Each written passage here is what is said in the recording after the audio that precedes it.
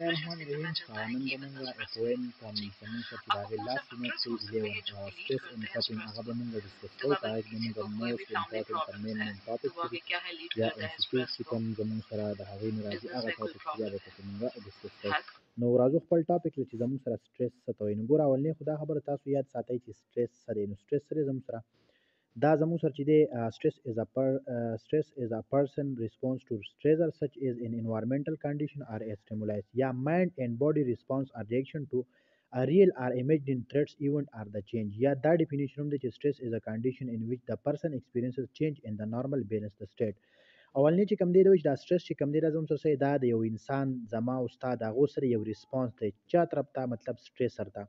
اوس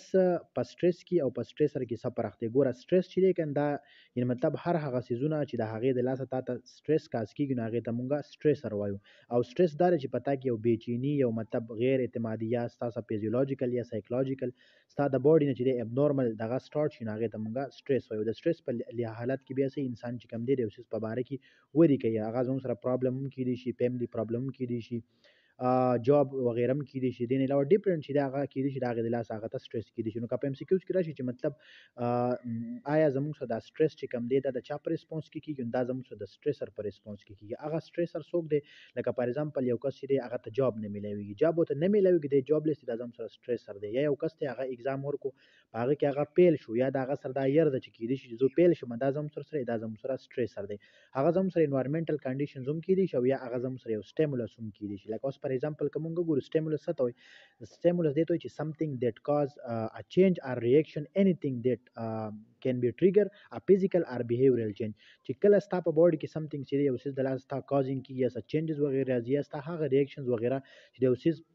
په دغه کې سره کیږي په ریاکشن کې یا ستا په باډي کې سره ټریګرینګ کیږي هغه زم سره فزیکل هم کیدی شي او هغه زم سره دې بیوریولوژیکل چې هغه زم سره کیدی شي دین لاو کوم غو ګورو مایند اند باډي ریسپانس ار د ریاکشن ټو ا ریل ار امیجن تھرټ ایون ار چین یا دا زم سره چې د مایند یا زم د باډي چې کوم دی دا هغه هغه ریسپانس ته یا دا هغه هغه ریاکشن دی چې هغه هغه ته یا ریل دی او یا هغه امیجن تھرټس دی یا هغه سه ایونټس راشي یا سه چینجز وغیرہ چې راشي لکه فار ایگزامپل د چا چې دې په فیملی کې څوک مړ شون دا څه ایونټس راغی کنه مطلب څه د په چینجز خو راغی په انوایرنمنت کې کنه دا ته بس کیږي امیجن دغه وته شو ترټ چې هغه واقعي لکه اوس زما بس کیږي او دا خو په دنیا کې وازی پاتې شوم دا سه د هغه ټایم کې د چې کوم مایند یا دغه په باډي کې کوم ریسپانس کی کوم ریاکشن شو کوي هغه به زموږ سره سي سټریس ته یا دا زموږ سره چې کوم دی ریل هم کیدی شي او امیجن هم کیدی شي ریل دا چې مطلب دی په خپل سترګو باندې امیجن دا چې مطلب یو تصوراتي غونډې تصور کوي چې یار په دې پریزنټ کې زده سیم په فیوچر کې به زما څه کیږي صحیح ده نو دا زم سره امیجن دغه دا غي په باره کې دی چې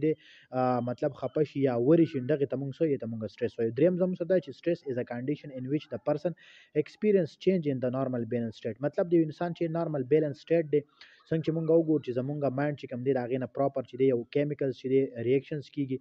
ډیفرنٹ هارمون چې ریلیز کیږي لکه فار ایگزامپل پینیپرین شو نارې پینیپرون شو ایموشنز هارمون شو ډوپامین شو ډیوټامین شو دا ټوټل چې کوم دي کنه دا زموږ د باډي نه چې کوم دی دا برین نه چې دا غ ریلیزینګ کی او پای کې بیا زموږ باډي چې کوم دا دا غیر لپاره ډیفرنٹ ډیفرنٹ کیمیکل ریاکشنز کی او زموږ هغه باډي چې دا غ مینټین ساتي نو دوی چې مطلب د سټرس دي یو کنډیشن دی چې پای کې یو پرسن چې دا غ د ایکسپیرینس کوي چې مطلب دا غ په باډي کې چې کوم دی مطلب نارمل کم دا بیلانس سټیټ چې کوم دی کنه پاګه کې چینجز راشي الټریشنز پکې راشي دغه تمونګه سټرس ورته مونږ وایو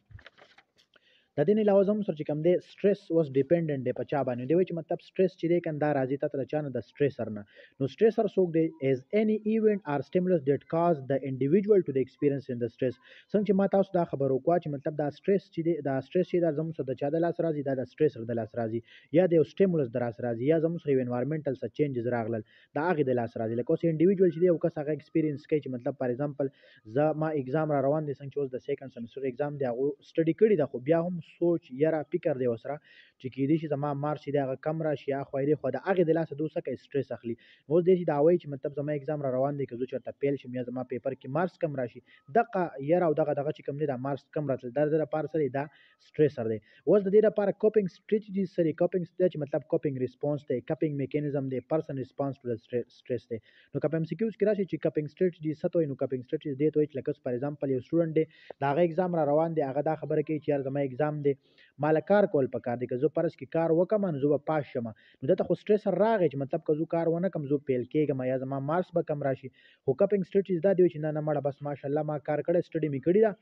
او زه به ان شاء الله ښه مارکس اخلم دا د سره کاپینګ ریسپانس دی یا کاپینګ میکانیزم د په بورډ کې کیږي لکه پرسن ریسپانس ټو ټیسټ مطلب د سټریس تر د ریسپانس سره دغه ته موږ کاپینګ ریسپانس ویل لکه اوس پر ایگزامپل یو کس ته په هغه باندې بیماری راشي هغه هغه بیماری ته شارټ غونتی ګوره مړه بس ټیک ته وي دومره مسله د خبر برابر بشي او بعد هم دسی کسي کنه چې هغه ته یو وړه غونتی مسله خو هغه ته یو ډو غټه مسله جوړه کین دا زم سره دا کاپینګ سټریټیجیز دي چې یو کس زموږ سره چې دی یو پرابلم ورته کریټ شي یو سټریس ورته راشي او هغه بیا چې دی یا ورته یو سټریسر چې د هغې د لاس ورته سټریس کاشي هغه د هغې سره څنګه مقابله کوي دې ته مونږ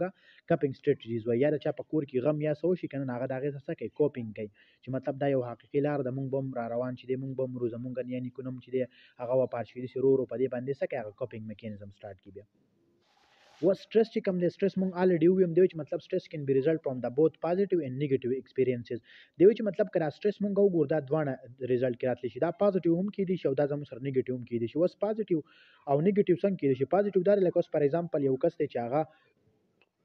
اګزام را روان دی او هغه ته سټډي کړی دا دی وای چې مطلب زی به خیر دی مړه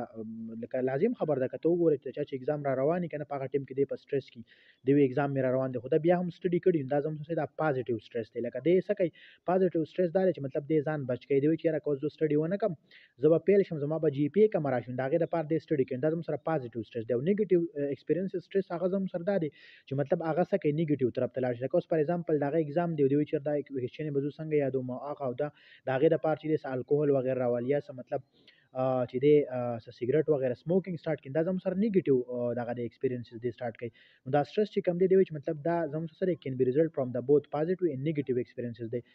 فار ایگزامپل ا برج پریپیرینګ فار هر ویډینګ یعنی مطلب یو جنۍ ده د هغې واده کېږي زم سره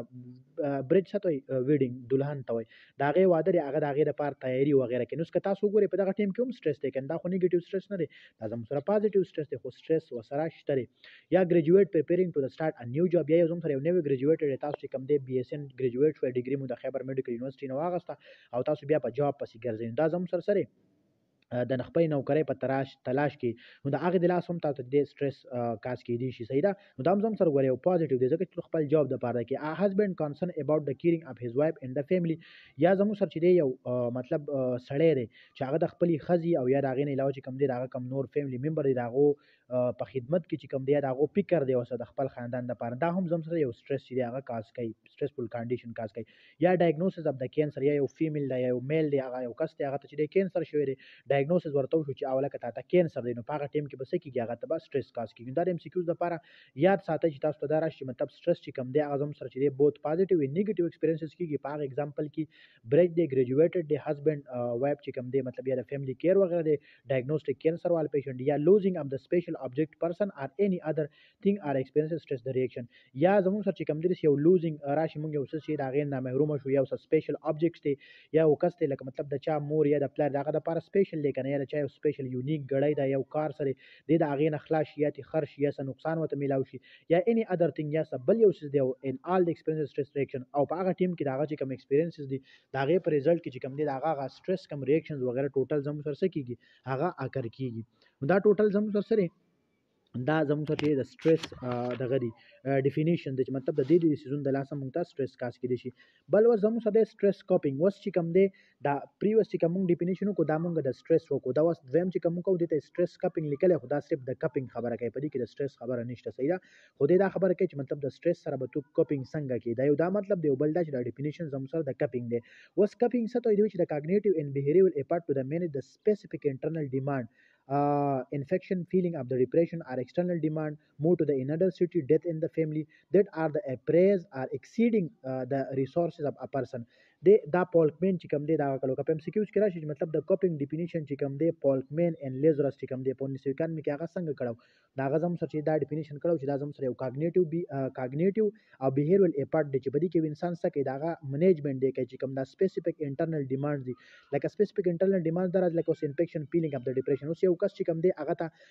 انفیکشن شوی دی نو داغه ته بس کیږي هغه په ډیپریشن کې ځون دا انټرنل دغه شو کنه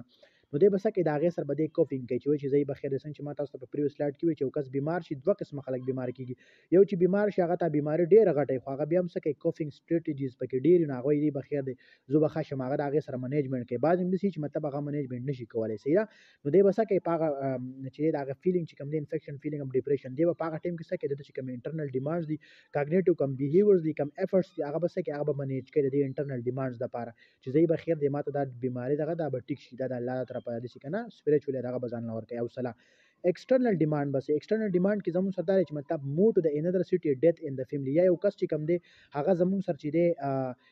د یو زګی نه بل زګی ته لاړ شی لکه مطلب جلا وطن شی اوس فارزامپل یو کس په یو کلی کی اوسیږی هغه ته د یو کلی نه بل کلی ته بوزی یا د یو سیټی نه بل سیټی ته لاړ شی یا که مونږ خلک وګورو مونږ په پیشاور سیټی کی پاتی کیږو مونږ اسلام اباد ته لاړ شو لاهور کراچی ته لاړ شو نو په هغه زګی کی څه د هغه ځای هغه هغه انوارمنټ زمونږ د پاره ډیفرنټ دی نو مونږ دا خبره وکړو چی مطلب دا سټیمولس هم کیدی شی سټریس چی مونږ ته راځی او دا زمونږ سره انټرنل یا ایکسټرنل هم کیدی شی دا زمونږ سره چی دی انوارمنټل هم کیدی شی نو په دې وجه باندې موږ دا خبره کوو چې کله یو انسان د پېښور نه لاهور اسلام آباد دې ځایونو ته لاړ وکړ نو په هغه ټیم کې څه شو موټو د انذر سټي دې انذر سټیز ته راغی نو په دغه ټیم کې څه بیا د د بسکه کوپینګ بکې د هغه خلکو سره ډیفرنٹ خلک به ډیفرنٹ سوسایټیز به د هغه خلکو سره بسکه دې به اډاپټیشنز کوي دا زم څه دا کوپینګ بده کوي د دې علاوه پر ایگزامپل دغه په فیملی کې چې کوم د ډیت وغیرہ شو یا مرګ سو شو کنه نو د هغه سره بده څنګه کوپینګ کوي دا زم څه دا د کوپینګ هغه میکانیزم ته تخې چې بده طریقه بده څه کوي ځون سره بده کوپینګ کوي یا موږ وایو چې ډیټ آر د اپریز آر د ایکسیډینګ ان د ریسورسز اف د پرسن یعنی مطلب یا دا چې مطلب دا سری اپریز دی خط شو ته دا یا دا د تدریس راشي مطلب دوی چیرې مې به کیدی چې زه پلان کې زګی تلار شم ماته التزم جاب له جاب راته ملاو نشي نو دې بس کې ایکسیډینګ بری کوي د ریسورسز اف د پرسن د ته بس خط شو ته پیدا شي چې مطلب فار ایگزامپل ځول تلار شم مده ځان سره 1000 روپۍ وړي دي او الته کې زما د 1000 نه سیوا ولې کې دې ته سو ایکسیډینګ ورته وي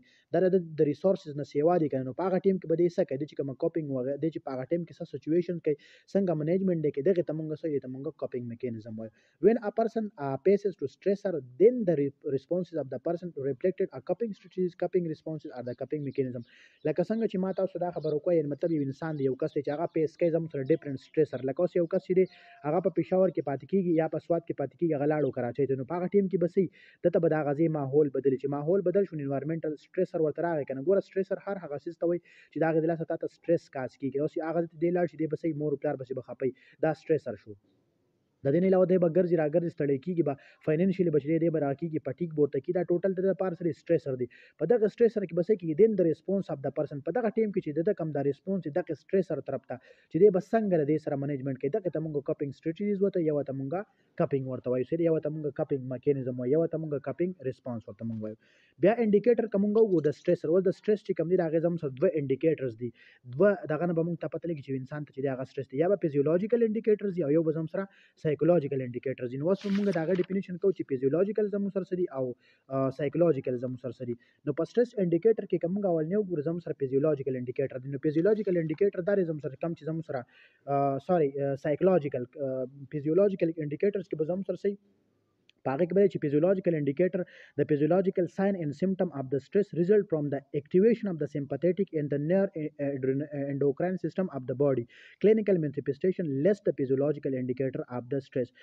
دی وی چی که پاریزامپل یو کس ته سټریس یادغی نو موږ به څه کوو هغه به موږ اول دهغه فیزیولوجیکل انډیکیټرز چی کوو نو په هغه فیزیولوجیکل انډیکیټرز کی زموږ سره څه دی چی دی د لاسه موږ ته سټریس چی کوم دی هغه به څه کیږی انډیکیټ کیږی لکه څنګه چی پاریزامپل یو ګاډی کی انډیکیټرز لګیدلی هغه چی هغه لایټ دغه کوي که ښی سایډ ته هغه اشاره لګی نو موږ وای دا ګاډی ښی طرف ته روان دی که هغه ګز سایډ ته کوي نو موږ وای دا ګز سایډ ته لایټ لګیږي دی به ګز سایډ ته اوړي نو دغه شان زموږ سره چی دی خپل فیزیولوجیکل انډیکیټرز دی د چا د سټریس په هغه کی دوه زموږ سره دی کم ساین اینډ سیمټم چی موږ ګورو د هغه د په ریزلټ کی زموږ سره څه کیږي اکټیویشن به کیږي زموږ سره د سمپاتیټک نروس سیستم چې کوم دی او یو چې کوم زموږ سره نیورو انډوکراین سیستم دی دا غیر ریلیز به کیږي چې کله دا غیر ریلیز زموږ سره وشي زموږ په باډیز کې بس کیږي چینجز برای زموږ په باډي کې به فزیکل او بیهیویرل چینجز راځي اوس هغه بیهیویرل چینجز چې راځي نه به څنګه راځي نو کومه وګورو سمپاتیټک نروس سیستم چې دا سره ګوره سمپاتیټک نروس سیستم چې دی کنده زموږ سره یو نت ورک دی چې د نور چې په دې کې زموږ سره کې دیټ هیلپ یور باډي ټو اکټیویټ اټس فایټ ان فلایټ ریسپانسز که تاسو وګورئ فایټ اینډ فلایټ ریسپانس چې دا غزم سو د چا پر غبانی کیږي هغه د سمپاتیټک نرو سیستم په ذریعہ باندې کیږي اکټیویټ کیږي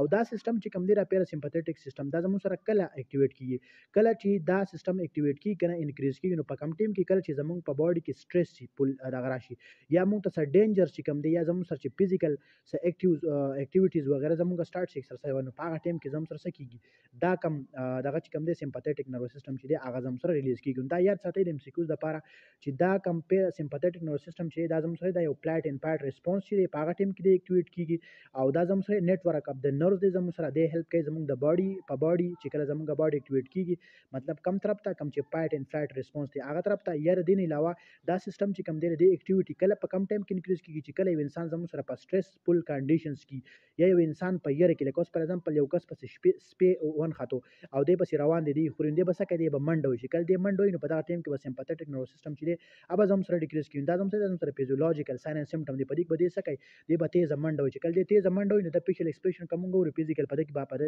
بیهیویر کې بس کې چینجز برازي زم سره نو د دغه وجه باندې زموږ سره څه کیږي یا سر ډینجرز وغیرہ تر راشي دا به ټوټل زموږ سره اکټیویټ کیږي دویم زموږ سره چې کوم دی نیرو انډوکراین سیستم دی اوس نیرو انډوکراین سیستم چې کوم دی دا سره زموږ سره سیټ اپ نیورون دی زموږ سره سیټ اپ نیورون دی زموږ سره یا ګلینډز وته موږ ویل شو یا دین لاو کومه شارټ ډیفینیشن دی دیوالو کنه دا نیرو انډوکراین چې اصل کې دا زموږ سره پیچوټری ګلینډ دی پیراتایراید ګلینډ دی یا چې کوم زموږ سره انر لیر دی اپ د اډرینل ګلینډ هغه شو یا کوم اډرینل میډول چې دغه ته موږ سې دی ته موږ نیرو انډوکراین سیستم ورته اوس د دې نیرو انډوکراین سیستم کار زموږ سره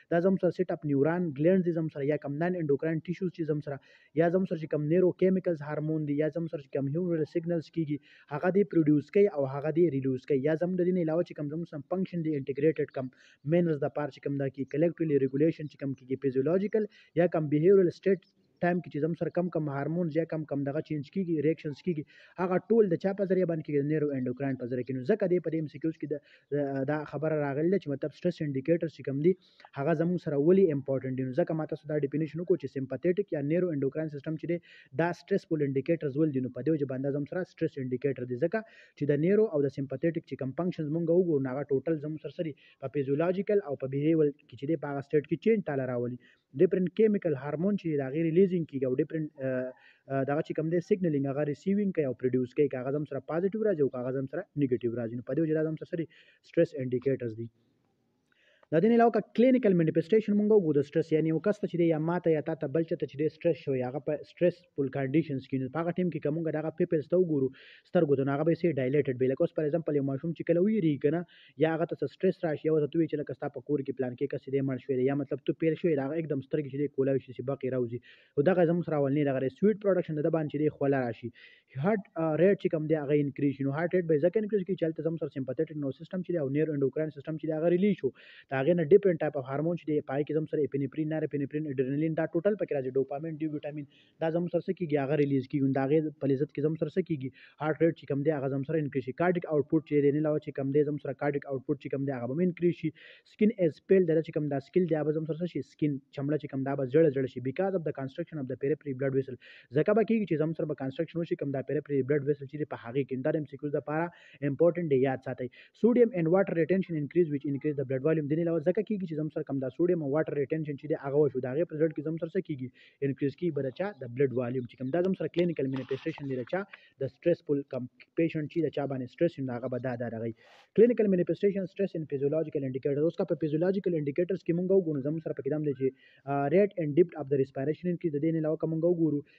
د دې کم کس چې دی چې کم کس چې په سټریسفل کنډیشنز کې د دبا سي د دبا ریسپایریشن چې دی به ساتي دی چې دی به تیز تیز ساه اخلي بیکاز اف د ډایلیشن اف د برونکیل ځکه به دی تیز تیز ساه اخلي چې کم زمو سره برونکیل دی داغه به ډایلیشن وشي چې کله داغه ډایلیشن وشي نو که فار ایگزامپل دی کنټریکټډ ول کنه نو په هغه ټیم کې ته پرس کې د 1% هوا ضرورت و ده اکسیجن ضرورت چې کله د ډایلیټډ شي نو هغه پیپونه چې زموږ سره کولاو شي چې کله پیپونه زموږ سره کولاو شي نو په هغه ټیم کې به زموږ سره بیا څه کیږي د دا برونکیال چې ډایلیټډ شول نو زموږ سره به د یو پرسنټ ریسپیریشن په دغه به اکسیجن په ذریعه به څه کیږي ته به پایپ ضرورت نو ځکه به دا څه شي دا د ساده غسو دا پیپونه سي دا به کولاو شي چې کله دا کولاو شون په دې وجه ته به د اکسیجن ډیماند ډیر شي چې کله ډیر شون دی به سکه دی به سات تیز تیز به راکل یورینری آوټپوټ ډیکریز او که تاسو وګورئ دا د یورینری آوټپوټ چې کم دی به ډیکریز شي کله دا مریض ته تاسو کې دا چاته چې سټرس شي دا غ یورین دغه به کم شي ځکه به یورین دغه کم کیږي چې دا غ بال ته خوله ډیره زیاته وځي څنګه چې موږ راغبر و چې باندې سویټینګ سٹارټ شي که تاسو وګورئ کله چې ګرمي په ګرمۍ کې د انسان باندې خوله ډیره زیاته راځي په یخنۍ کې چې کم دی دا غ بیا خوله نه راځي بیا واړه بول ډیر زیات کوي په یخنۍ کې نو دا هم هغه څه خبره کوي چې یورینر آوټپوټ ډیکریز ځکه به یورینر آوټپوټ ډیکریز کیږي چې ددنه خوله ډیره زیاته ووته نو د یورین چې کوم دی آوټپوټ چې دی هغه شو دین علاوه کوم سوډیم پوتاشیم خبره چې مونږ وکړه هغه زموږ سره څه شو ریټینشن دا غو شنو په دغه وجه باندې زموږ سره څه کیږي دغه وجه زموږ سره چې دی یورینر آوټپوټ چې دا ډیکریز کیږي ماوت می بډرای د خوله چې کوم دا بس شي وچه وچه به کیږي چاته چې سټرس یا سي کنه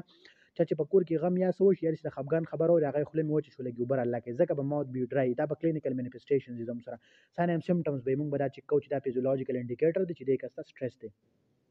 پیرسټالیسس اف د انډسټاین ډیکریز دین لکه موږ پیرسټالیسس مومنټ ته وګورو انډسټاین اب زموږ سره ډیکریز به شي که تاسو وګورئ کس ته چې انزایټي یا سټرس راشي په هغه ټیم کې دا اصل چې خېټه خراب شي پیرسټالیسس مومنټ چې کم دی هغه زموږ سره موټیلیټي چې کم دا غي خراب شي ته چا چې ایگزام کنه په ټایم چې کم ټایم کې پیپر دی اجازه سي ماشوم خېټه خراب شي دا کبل کیږي دا ته سټریس راشي کنه مسل ټینشن انکریز د چې کم دا مسل ټینشن دی په دې کې به زم سره انکریزمنت به زم سره سٹارټ شي دا زم سره کلینیکل مینسپیسټیشن دی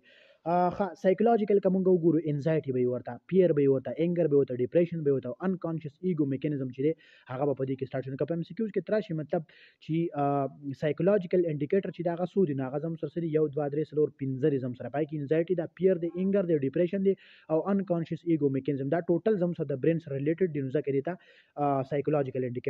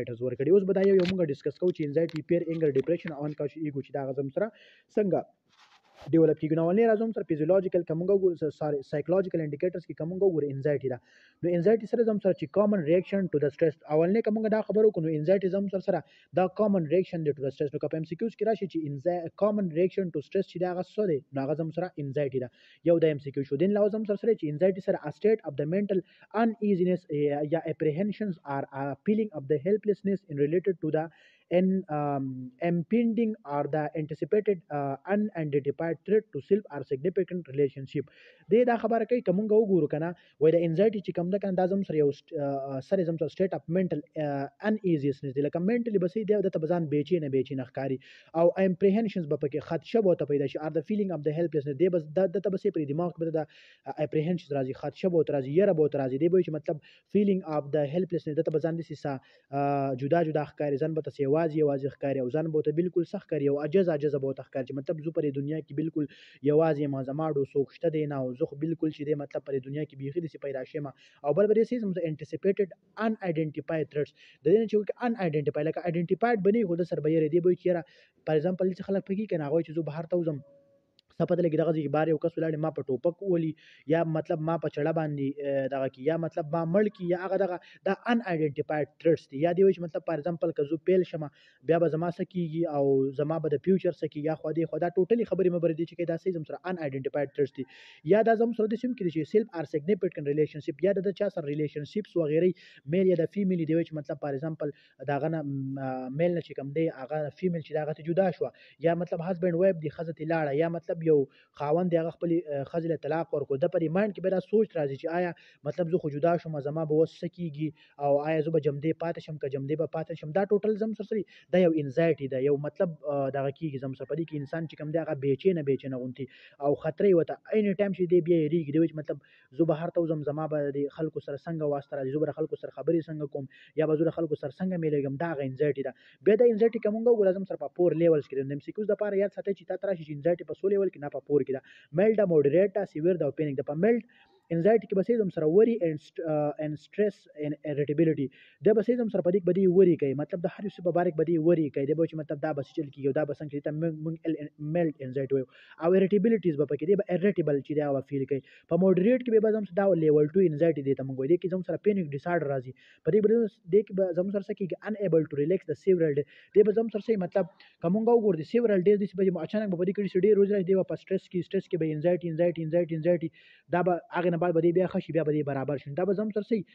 مور دین یا به زم سره چې دی ون ډے به یا ټو ډیز به خو مطلب ایوری ډیز به نه مطلب پراپر هر ورځ به د انزایټي نه په میلډ موډریټ انزایټي خو کله نا کله به ته کیږي کله کله به دی لکه تاسو خیر کړي پر کلاس کې به سي ماشومان چې هغه په یو ټیم کې داغه موډ یو شانتي په بل موډ کې یو ټیم کې بل شانتي په بل ټیم کې بل شانتي داغه دغه چې کم دغه سکی چینج کیږي یا په یو ټیم کې باغه یو څه ډیر زیات چې دی ورکیږي به یو ټیم کې برسي چې مطلب بالکل چې دی بالکل بسې نه خبره به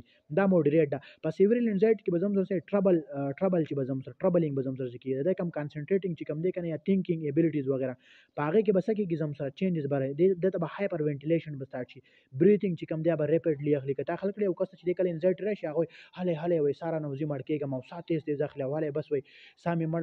بند بند کیږي اله وي بس پړه مې سي چل کیږي غره دا زموږ سره بیا سیویل انزایټي دا او پینیک کې زموږ سره سي ان کنټرولبل شي په پینیک کې زموږ سي ان کنټرولبل په دې کې بیا کنټرول کې دی بیا نه زموږ سره په دې کې زموږ سره سي بیا پیر او انزایټي وته دومره ډیر ته سیوا شي کنه چې ان تھینکینګ بیهیویر چې کوم دی هغه پدې کې بیا سٹارټ شو بیا سې زم سره سډنلی چې کوم دی سترونګ فیلینګ اپیرز د ته چې هغه اپیر شین دا زم سره پور لیول اپ انزایټیز ول وس دویم زم سره راځو پیر چې کوم دی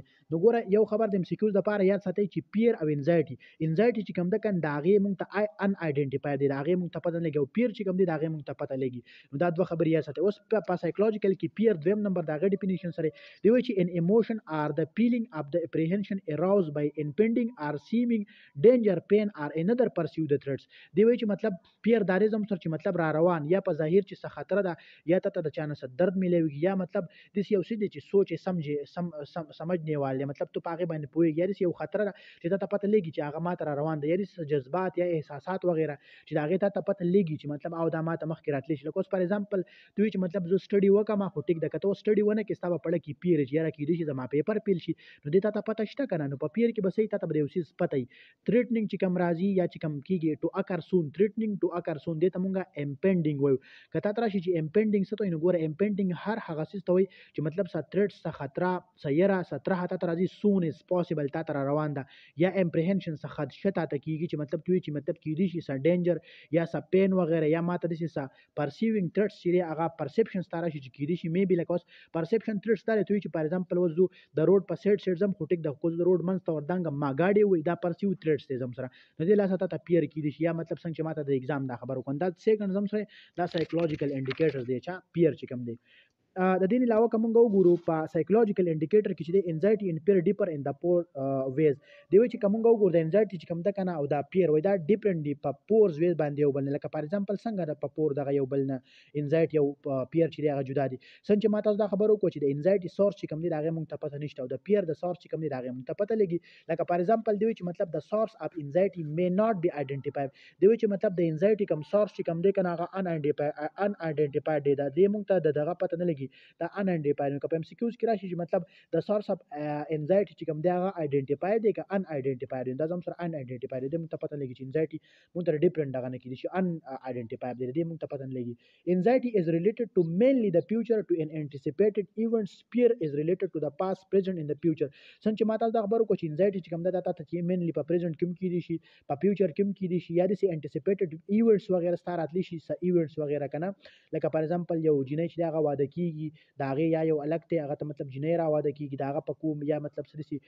ډیتس وغیرہ او شیعه سپنکشنز وغیرہ دي کنه دا انټیسیپیټډ ایونټس دي پاغه کې تاته کوم انزایټي وغیرہ راځي او پیر از ریلیټډ ټو د پاست پریزنت اند د فیوچر اوس پیر به سیزم سره دا به ریلیټډ دي د پاست سره او د پریزنت سره او د فیوچر سره خو انزایټي چې کوم دنه به سي مینلی به زم سره ریلیټډ دي د چا سره د فیوچر سره او انټیسیپیټډ کوم ایونټ چې کوم دي د هغه سره د ایم سی کیوز لپاره یاد ساتي چې انزایټي چې کوم دا به زم سره ریلیټډ دي جست مینلی د فیوچر سره او د انټیسیپیټډ کوم ایونټ چې کوم دي د هغه سره او پی او پیر چې کوم دی یره خوب چې کوم دی نه بس هم سره ریلیټډ دی د پاس سره د پریزنټ سره او د فیوچر سره د درې وړ سره درېمه خبره ده چې انزایټي از ا ویګ ویر از پیر از د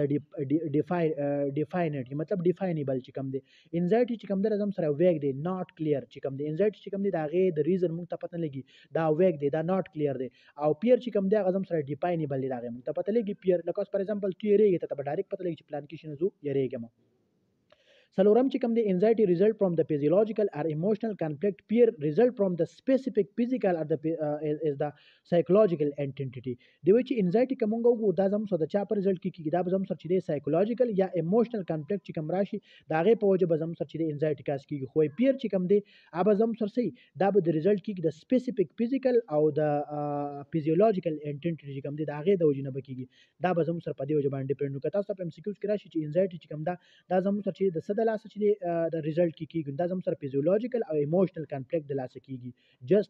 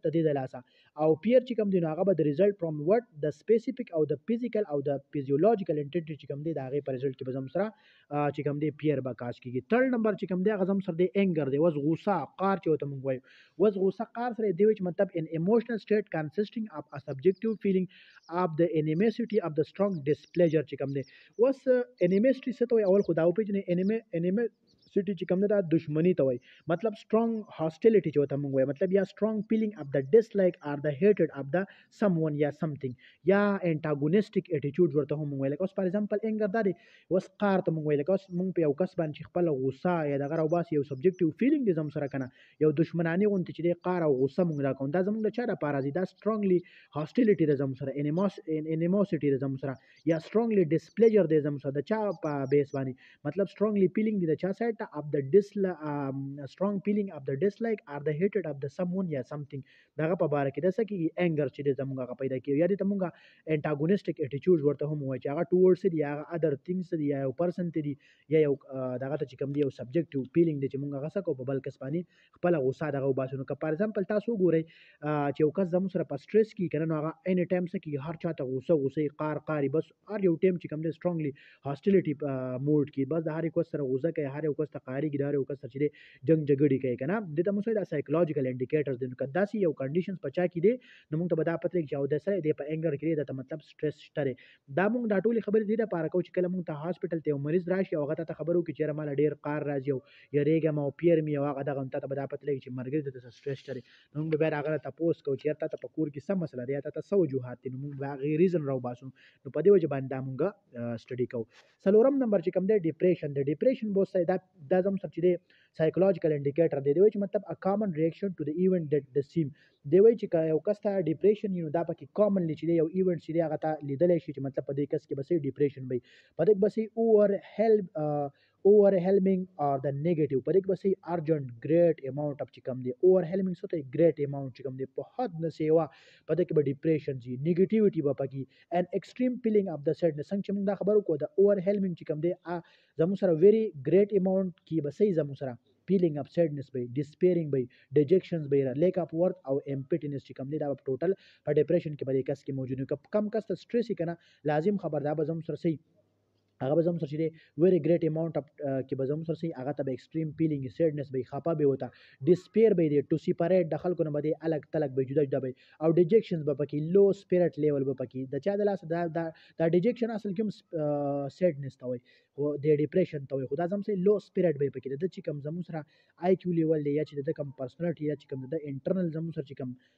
دغه دی د ماین چې خپل ځان د څنګه ښکاری کنه هغه به د خپل سي ویلیو بل به دې ځان له ویلیو نور کوي لو سپیریټ به پدې کې لیک اپ ورتی به پکې دی به ویلیو پد کې سي به کم ویلیو بل باندې د خپل ځان ویلیو بل نه غني ار د ایم پټینس او د ته ځان ښکاری خالی خالی تش تش به د ځان ښکاری دی به چې بس زه هم پر دنیا کې یو ساجیبه غونتی کې شی یم رغن دا به ډیپریشن دا به ولې کېږي دا د سټریس د لاسه کېږي او دا سټریس ورته ولې راځي لکه اوس پر ایگزامپل د چا په کور کې غم وشو چې غم وشو د هغه وجه به درته سټریس کېږي دا غم د ده لپاره سټریسر دی د سټریسر د لاسه به درته سټریس وشو دغه سټریس د لاسه به درته څه کېږي انزایټي پیر به ورته کېږي او بیا به ورته ډیپریشن کېږي چې ډیپریشن ورته وشي نو درته به ځان بیا خالي خالي ښکار دی به چې بس په دې دنیا کې جو نعوذ بالله الله زوري دې مو دا ټول بیمارې نه سخت تکلیفونه په ما دي بل چې کوم دې زم سره سایکولوژیکل انډیکیټر چې کوم دې پنځم نمبر انکانشیس ایګو میکانیزم چې کوم ناچاهته وي انکانشیس ایګو مطلب فار ایگزامپل چا په کور کې یو مړی وشي په هغه ټیم کې دې سي دې سکه دا ټول دنیا نه الګ تش دې بس په چغه چغار شو ار یو کس ته لری شي اخوا شو دا زونه منم هغه دغه د یو ایګو میکانیزم په دې کې سٹارټ شو څنګه به سٹارټ کیږي انکانشیس نس کوم فزیولوژیکل اډاپټیو میکانیزم ار د منټل میکانیزم دیټ از ډیولپ از دا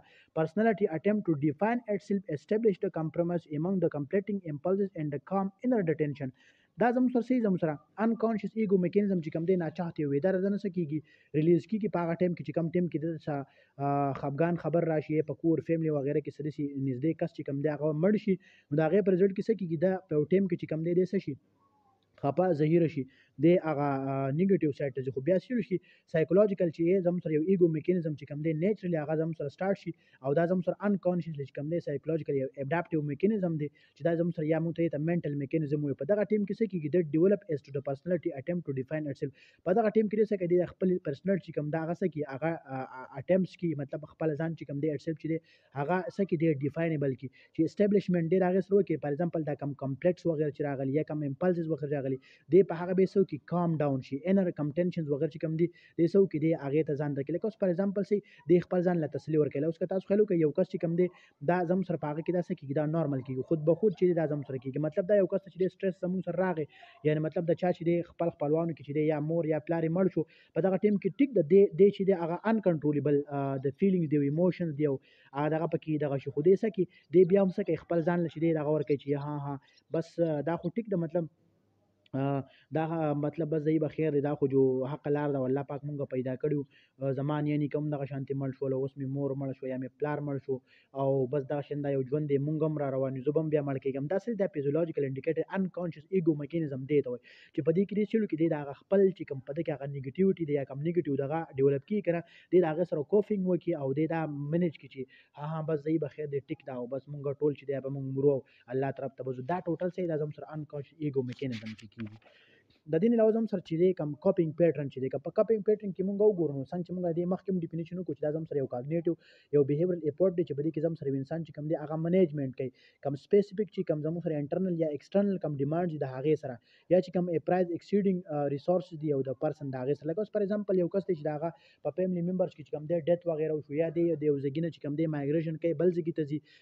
یا دته چې مطلب یو انفیکشن شوی دی کنه یا د په فیملی کې یو کس چې دغه ډیر ټایم د پاره بیمار دی په هغه ټیم کې چې کم دی د هغه سره سکه خپل د کمنیکټیو بیهیویر چې کم دی او خپل اپورټ دی دا کوي او د هغه سچويشن سره دی سکه منیجمنت دی دا هغه سره کوي هغه انټرنل دی هغه ایکسټرنل دی دغه تمغه سره کپینګ پیټرن وته یا موږ دا هم ویل شو چې ان انیچرل ار د لرن ویو اف د ریسپونډینګ ټو د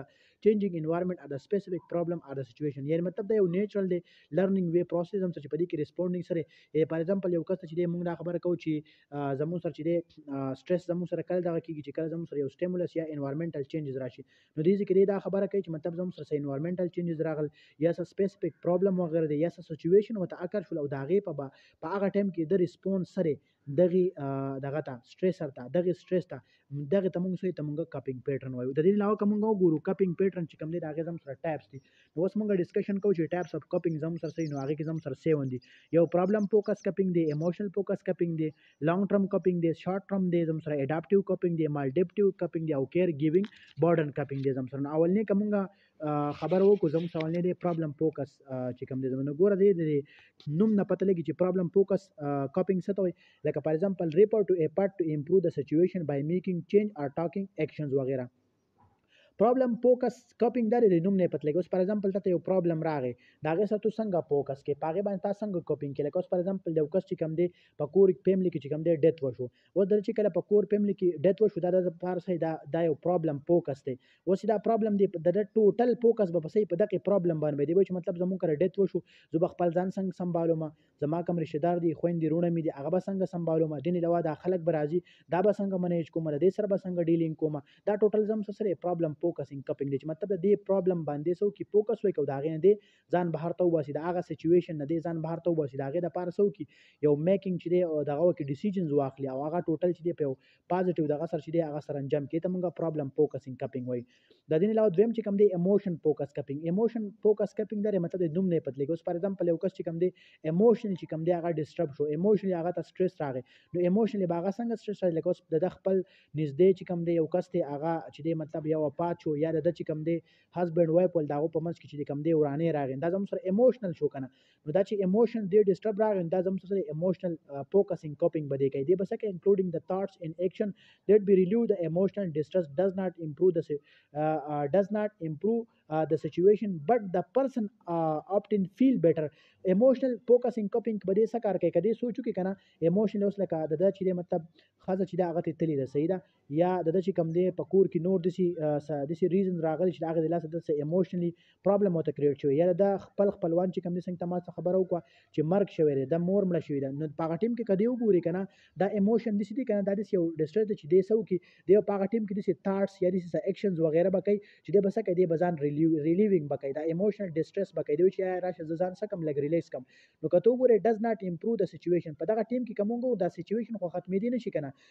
لکه اوس کدی ځان چې دی ایموشن دی ځان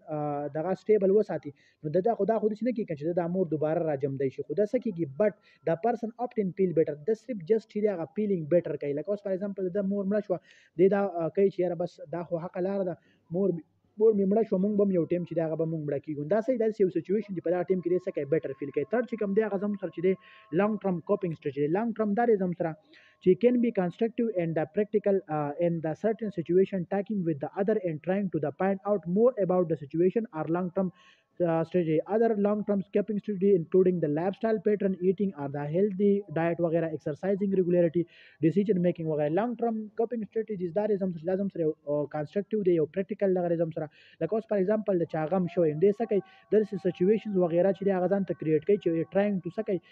دی په هغه باندې ټراینګ کوي دی چې مطلب راشه بس دا خبرې مبرې چې دا ځان یری کا او په دې خبرو کې یا په دې کارونو کې ځان انوال کا چې ستانه دا غم یا دا دغه چې کم دې ستانه يرشي لکه اوس په یو ځکه غم وشي یا د چا سره لاس وغیره وشي دا غي د لاس هغه ډیر زیات خپي خو دې سکه بیا لانګ ټرم د ډیر ټایم پورې دا خبره ير کیږي نه دې پاغه بار بار سوچ کوي دا غي د يرول د پاره دې بیا څه کار کوي دې ځان سره پکارونه کې سپریسي سچويشن زیاتې سي خبرې اترې یاري د خلکو سره کینی یو د سره د بل سره کینی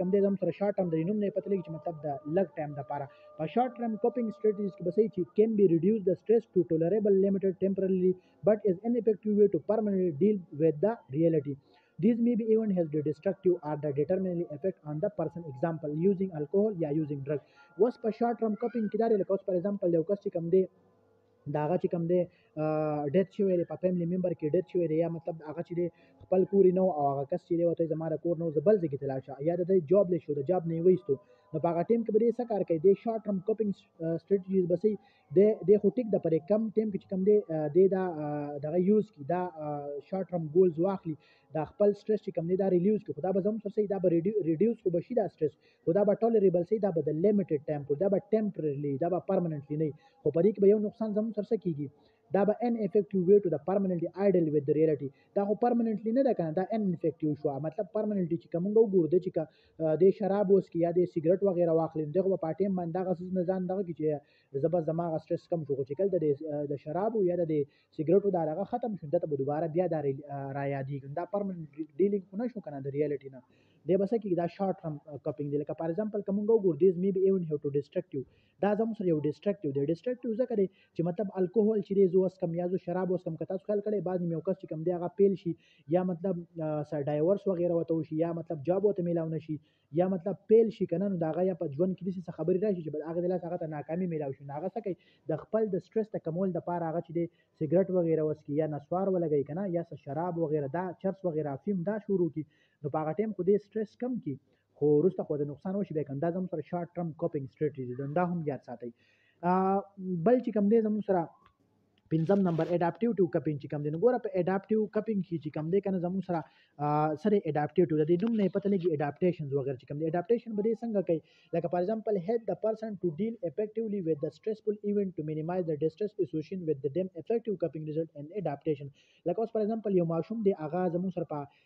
نهم لسم کې سبق وي یا مطلب هغه اف ای سی وکوا دا غې نه بعد چې کم دی هغه بیا راځي بي اس نرسنګ کې لکه اوس فار ایگزامپل چا چې میټر اف ای سی پاس کو هغه بیا راځي یونیورسيټي تم چې کله هغه یونیورسيټي لاب ته راځي کنه نو په یونیورسيټي لاب کې چې دی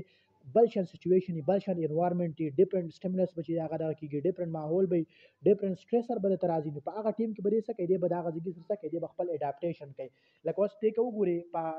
یونیورسيټي لیول کې چې کم دی ډیفرنٹ رولز ریګولیشن به چې هغه به ریګولیشن دا په اف بي سي کې به هغه د نه ویلي خو چې کله د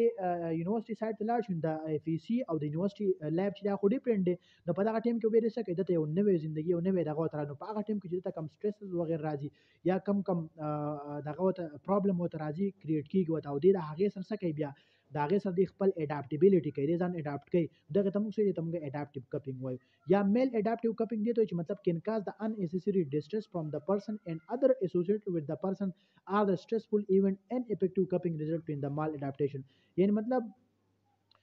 مال اډاپټیو کپینګ دار څنګه چې ماته په پریو سلایډ کې دا خبرو کوچ لکه یو کس ته هغه ته سټرس راغی او دا غ سټرس د کمول د پاره هغه سو کی هغه وی چې راش مړ یو سیګریټ وسکا یا راش یو د نسوارو چونډې ولګوا چې مطلب دا هغه دی غش یا لاړ شي کلب تالت کې چې مطلب چرس مرس وغیرہ وسکی نو دا زموږ سره دا زموږ سره مال اډاپټیوټیو کپینګ دی دا یاد ساتئ زموږ سره شپږم نمبر دی وم نمبر چې کوم دی زموږ سره نو وم نمبر ته موږ وایي کیر ګیور بارډن چې کوم دی وس کیر ګیور بارډن زموږ سره سره لکه ریاکشن ټو د لانګ ټرم سټریس از سیم ان د فیملی ممبر هو انډرټیک د کیر اف د پرسن ان د هوم فار د لانګ ټایم اف پیریډ پروډوس د ریسپانس سچ از کرونیک فټیګ سلیپینګ ډیفیکلټیز ان د های بلډ پریشر وغیرہ کیر ګیور بارډن دا دی زموږ سره کوس که تاسو ګورئ د چا په کور کې چې مشر کسی کنه د چا نیای یا د چا نیکی یا د چا روري یا د چا خزه یا د چا خاوني کنه یا د چا مور یا د چا پلاری هغه بیمار شي هغه ته مطلب کرونیک ډیزیز او هغه په بیډ باندې پروتي میاش دوه میاشتې درې میاشتې چې کم دی هغه پروتي کنه هغه نه جوړ نو کته وګوري په دې کور کې چې کم داخله کې یا چې ول داسو کیر کوي څوک چې ولا خیال ساتي هغه ته سي دا زموږ سره کیرګي ور بډن دی پر هغه ټایم باندې مطلب دی ولا کیر ساتي خدا په یو بډن دی کنه دا هغه د لاس څخه کیږي د کس ته ډیپند چې کم دی پټیګ وته کیږي ډیر زیات ستړی په خوب کې وته ډیفیکلټي ځکه چې کس بیمار دی چې څنګه ودکیږي او تاوز کوي بچیا مال ګولې راکا یا را لوبرا کا یا وې دل ډیر باندې خپل چاپی کیا